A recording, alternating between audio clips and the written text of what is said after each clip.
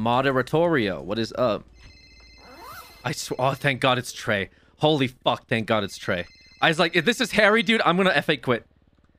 Yo, what's up, Trey? Hey, we got a big job to do.